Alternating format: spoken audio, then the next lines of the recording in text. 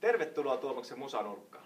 Jos et ole vielä katsonut aikaisempia videoita, niin katsopa ne vielä läpi, koska tässä saattaa tulla jotakin tietoa, mitä sieltä olisi pitänyt jo oppia. Tässä jaksossa aletaan opetella peruskomppia, joka on tosi yleinen komppi, esimerkiksi popissa ja rockissa. Aloitetaan ensin pelkillä käsillä ja lisätään sitten jalka vähän myöhemmin mukaan. Peruskompin idea on simppeli. Oikea käsi soittaa kahdeksasosia tähän haitsuun ja vasen käsi soittaa virpeliin kakkosella ja nelosella. Ihan niin kuin meidän aikaisemmissakin kompeissa. Tarkoitus on, että kädet oppii itsenäiseksi niin, että oikea käsi ei pysähdy silloin, kun vasen käsi soittaa. Ja sehän tässä on se isoin haaste monella aluksi. Eli monella aloittelevalla soittajalla tämä oikea käsi lopettaa soittamisen, kun vasen käsi soittaa.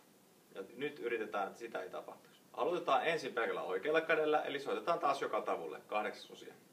Yksi, kaksi, kolme, neljä, yksi, kaksi, kolme, neljä. Hyvä. Ja sen jälkeen lisätään vasen käsi kakkoselle ja neloselle.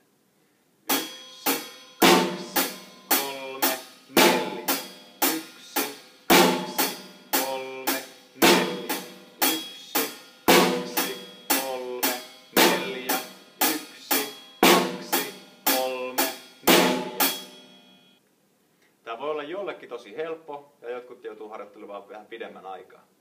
Kokeillaan vähän helpompaa, eli soitat vain kerran sen kompin ensin.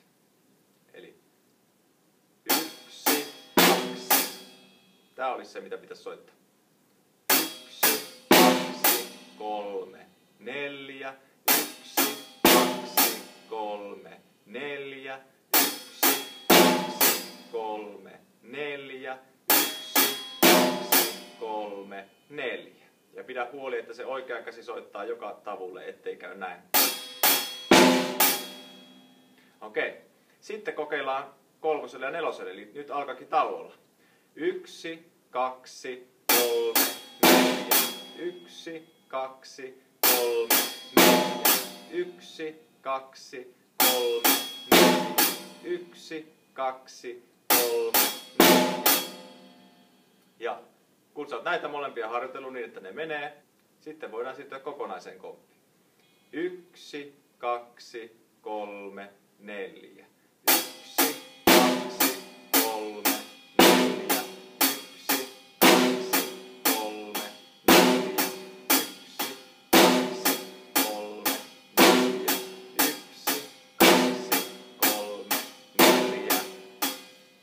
Jos vieläkin tuntuu liian vaikealta, niin pysäytä video ja kokeile ihan hitaasti muutaman kerran oman tahtiin ja sitten vaikka katsot nuo äskeiset harjoitukset vielä uudestaan.